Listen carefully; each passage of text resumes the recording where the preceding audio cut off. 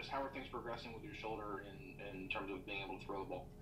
Yeah, it's going really well. Um, I think I'm, I'm getting really close. Uh, right today, I actually have a long toss day and throw to bases. So uh, yeah, I think the progressions are going really well. Um, you know, no issues right now. And uh, you know, obviously, you know, getting getting into game action today. Uh, is there anything you're you're clearly focused on at the plate? Uh, just do you have any goals that you're really trying to achieve this spring? Uh, you know, ahead of the season. Uh, I'd say early, just uh, kind of getting into the groove of things again, getting the timing down, uh, just seeing where my swing's at, uh, and just kind of adjusting from there. And then kind of as this spring training continues, just keep getting at bats and really, really focus on the timing, pitch selection, and little things like that. And and uh, but yeah, just kind of using it to get ready for the season. Uh, no, I just gotta make sure shoulder's good, which you know it will be, um, and just kind of get back into playing. Awesome. Thank you very much. Thank you. Other questions? Raise your hand. Let's go, guys. Questions? Uh, Stephen Hawkins, AP. Hey, David, just um, kind of as you've been in camp a little bit, what do you kind of see as your role with this team? And, you know, obviously a new team, kind of coming into a new place, and a team that's kind of rebuilding. Where do you see your role in all that? I'm really just trying to come in and, and play and help the team win, however that is. Uh, getting at bats, um, establishing myself again. Just uh, know I'm a good player, and you know, just got to show that I can do that again. So uh, really, just trying to, you know, it's a very young team, and you know, it's kind of weird being one of the the older position players on the team, I guess you could say. But that's that's definitely weird because I'm not used to that. But just trying to help guys uh, however I can. Um, whether that's being vocal or leading by example or just you know going out there and trying to just play hard and show show how the game's kind of played in your conversations with Woody or Chris Young or, or JD or any of them, what, what kind of get your sense of, of where this team is and, and what this team's trying to do just from your observation of it? Uh, I definitely think you know we're we're trying to win. You know, at the end of the day, we're we're out there trying to win. We don't play the game to lose, but you know it is a young team, and we're trying to trying to guys are trying to establish themselves in the big leagues, and you know I'm also trying to do that too, just showing that I, I'm still the same player that I was before my injury. Um, so I think it's we're going to be competitive. We're going to compete to the last out, and that's that's kind of what we've talked about. I'm big, and anyone can beat anyone on any given day, so that's why you play the game. You know, it doesn't on paper. You know, other teams might match up better or something, but at the end of the day, you gotta you gotta play and and compete. All right, Dave. Hey, look forward to the day when we can all meet more than just Zoom calls. Yeah, so. definitely. Hopefully soon. Okay, we'll go to Jeff Wilson of the Fort Worth Star Telegram. Hey, David. Um, back when you signed, um, you were asked about uh, the non-tender, and you gave a very short answer, like you didn't want to get into it. Have you have you had time to sort that one out? And then, uh, how much has it motivated you? Uh, yeah, I mean, I've thought about it. it. it. was definitely a surprise, but at the end of the day, I'm excited for this new opportunity. Um, and yeah, I think anytime a team kind of gives up on you like that, it, it adds a little more motivation and uh, kind of more fuel to the fire. But you know, like I have no hard feelings or anything like that. I'm I'm excited to be here, excited for this new uh, chapter. So. Okay, just refresh my memory. You wife is from the Houston area. Yeah, she's uh she lives she's from League City, Texas. It's a little bit outside of Houston. Okay.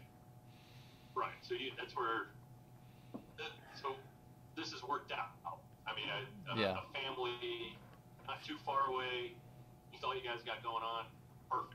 Yeah, it, it worked out really well. Um, you know, especially having having a newborn girl, baby girl, um, having you know my wife's family close to home is definitely going to help. And then also, it's a quick flight for my parents who live in Birmingham, so it, that definitely helps out a lot. Okay, well, thank you very much. Thank you. And we'll go to Jared Sandler, Texas Rangers Radio. Hey, David. Uh, I had two questions for you. One, I know you've played all three outfield spots a decent amount. It, is it all the same to you?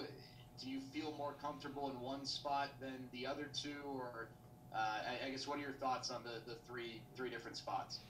Uh, I feel comfortable at all three. Um, you know, I think right field's pretty locked down, so I don't think I'll have to worry about being there at all. Um, and then we have a good center fielder, and I know he, you know, I've seen the way he works and how, how good he is defensively out there. So, you know, I'm very comfortable in left. I'm comfortable in center. So, kind of wherever they need me, I'll, I'll play and, and you know, work hard at it. Yeah, and then, totally unrelated to that, in Colorado, you played with some really good hitters. Uh, I, I'm just curious, did you take anything away from any of those guys, Arenado, Story, or, or any of the other guys you got to play with while you were there? Yeah, I mean, I learned a lot from those guys. Um, it was it was definitely nice to be kind of sandwiched in between those hitters. Definitely gave me a lot of lot of pitches to hit. So I I enjoyed hitting in that lineup with you know those really really good players. Could learn a lot from Charlie and and Nolan and Story, just kind of how they went about their business, how they prepared every day, and uh, got their bodies ready to play. So. Uh, but I, I still talk to them all the time, talk to them about hitting, and uh, you know Trevor's one of my really good friends, and you know I, I keep up with Nolan as well. So uh, um, yeah, I've, I've learned a lot from from all those guys. Awesome, thanks, David. Thank you. We'll go to Emily Jones, Rangers Television Maven. Thanks for the introduction, John. David, nice to meet you, and congratulations Thank you. on the uh, on the, the new arrival. Is your family there with you, or did they stay back? Uh, so my wife's parents came out kind of right after she was born, kind of helped out, and then they left, and my parents came in town. So they're actually leaving today, um, and then it's it's me and my wife, kind of kind of doing it by ourselves now. Riding solo. yeah. Um, what's been the biggest adjust sleep wise? I'm assuming that's the biggest adjustment with a newborn. I mean, At least it was for me. knock on wood, she's sleeping really good and sleeping through the night right now. I don't want to jinx it, um, but sh- you know we're we're sleeping really well. My wife's doing an amazing job. She's so she's a champ at it, everything. So um, it's been it's been easier on me for sure. Well, enjoy that. Um, I wanted to ask just about the, the dynamics of the clubhouse and when, you know, the team has been pretty open about the fact that it is in a bit of a rebuild phase and mode. So when you're coming into a team, you know, that is in that kind of mindset, does it, do you kind of take that, you know, personally as a, as a, as a mission of, okay, let's, let's get this thing going and, and build a foundation that, that will hopefully last? Yeah, I think, I mean, like I said, it's a very young team, especially on the position player side. So I think we can learn a lot. I think we can help each other and just kind of seeing how all these guys work. They're definitely hungry and they want to they want to get after it and they want to show everyone, you know, how good they can be. And, you know, like you said, you come together as a team, play hard, anything can happen. You know, uh, it could be considered a rebuild, but I expect us to go out and compete and, and play to the last out and win some ball games. And then one more thing, is it also easier to come into a situation where there is such an influx of, of new guys to where there's not this, you know, solid core of guys that kind of already has their thing established? Is that a little bit easier as far as the transition is concerned? Uh, I don't know because I haven't, you know, I hadn't done it uh, before that, but I, I definitely think we have a lot of new players and a lot of new faces, so it's it has made it pretty easy to come in, get to know everyone, and, and it's a good, it's a great clubhouse. Guys are guys are really nice. They're they're hungry and they, they want to learn. They want to win. Thank you. Appreciate your time. And we'll go to Alice, Alex Plink. Got a small taste of the outfield at Globe Life Field uh, on opening weekend. Uh, what can you say about the just how it plays? Um, I know you used to kind of used to playing in Arizona's turf, but just kind of how the ball plays. I thought it was good. Uh, I didn't have any complaints. I was I was excited playing there. So you know, once once I got non-tendered and Texas reached out and was interested, this was my my top spot. I love I love the stadium. Um, I think I love that you know a dome. So you know, weather's never going to play a factor. Um, but playing the outfield, I thought it was I thought it was good. You know, I didn't I didn't have any issues. But you know, it was only what five games out there, so because counting the exhibition. So. Um, but nothing really stood out that was bad for me. Thanks, David. Thank you. We'll go to Levi Weaver, Athletic DFW. Hey, David. Um, when we talked to you last time, we talked a little bit about hitting a Coors field, and you know, I think a, a lot of times the narrative is when somebody leaves Coors field, they're going to have a drop off in stats. But you were talking about how the, the ball moves differently there, and so the the breaking pitches broke more on the road. Is there, on some level, maybe a, a, an optimistic twist to this that you're that they're basically you're going to be seeing breaking pitches move the same everywhere you go now, as opposed to it being different at Coors field? Do you think that there's I, don't know, maybe so it, it offsets some of that uh, the Coors splits. Yeah, I mean, I'm I'm excited that I don't have to go through that anymore because it's kind of when you're on the when you're playing at home for a long time and then you go on the road, it's you know you're like, all right, I got to get off the fast, I got to get off the machine, see some spin. Like you're you're really lot like those first three games are always pretty hard on the road. So I'm excited that the adjustment shouldn't be as difficult, I would say, playing on the road as it has been in the past. Like you know you you're always aware when you're going on the road in Colorado because it's like, all right, this this ball's about to move a lot different. You know, you Uh-huh. you swing at stuff and you know it hangs up in Denver, and you swing and it's behind your back foot, and you're like, wait a minute, this is in the dirt. So it, it's just it's definitely different. Right. Okay, cool. Thank you. Go to Evan Grant, Dallas Morning News.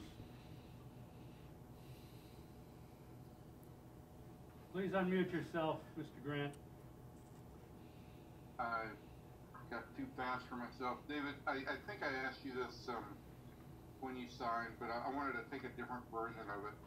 Um, in, in talking with Joey uh, and a couple other guys, you know, they, they talked about some of the issues with the lack of access to a video room, and, and that's going to be a continuing issue that, guys are going to have to deal with this year. Um, have you come up with any thought? I, I want to go back and make sure that I understood. Did you feel like that in, in any way impeded your ability to kind of get on track? And, and if so, have you come up with any kind of workarounds for what you want to do this year? I mean, I, th- I think it definitely made it a little more difficult as for hitters. You know, you can't go back and look, hey, where was that pitch? How are they throwing me? What my timing looked like? Uh, little things like that that I've checked out in the past. And you know, I'm a guy that I love. I do love video. I watch video a lot, and um, even in you know, I like getting my swing video to BP, just kind of checking, and making sure. But I think this off season, I really tried not to rely as much on video for my swing, and just kind of relied on more like feel what I was what I was feeling up there. So I think that could definitely help. But I've heard something we could use iPad. They'll have like game access from iPads that maybe you could still watch. But I, I use it a lot just to see how my timing looked and then where the you know where the pitches strikes that I was swinging at and things like that. Or like- I looked, or also like you know if I thought they were coming in or something, but they were really trying to go away, just accidentally threw it inside. Then okay, I don't have to worry about the inside pitch. Little things like that kind of used it, but yeah, I think I just really try. I didn't use as much video this off season as in the past. You made a conscious effort to say, okay, let's Let's I'm make gonna have to adjustments without something having to see it. Yeah. Yeah, okay. Um, and where, where did you commit at a high school? I'm sorry. Uh, Auburn. You I was yeah, on- I was signed to go to Auburn. Okay, all right, thank you. Just You're double checking. We need to keep track of all our SEC guys. Yeah. Okay, we'll go back to Jeff Wilson. Take a few, a couple more. Uh, getting back to the ballpark, you know, obviously the everybody says the advantage in Texas is that um, there's air conditioning, so it's not going to be 2,000 degrees in the summer. But I've always thought that the biggest advantage for the player in a roof is knowing that you're going to play that day, and you kind of mentioned it. So just how big of a difference is that going to be, especially coming from where it, in Denver, where it can snow or it can hail or it can rain, and Yeah. you know the drop of a hat. Yeah, uh, that's definitely going to be to be nice. You know, you can prepare the same every day. You don't have to worry about any delays. You know, it, it did happen a lot in Denver where it looked perfect all day. You start getting ready, you go out for stretch, and then it just starts, you know, hailing and you get a two hour delay. So I think that's going to be nice on the body, just kind of knowing every day when you're playing, when to get prepared.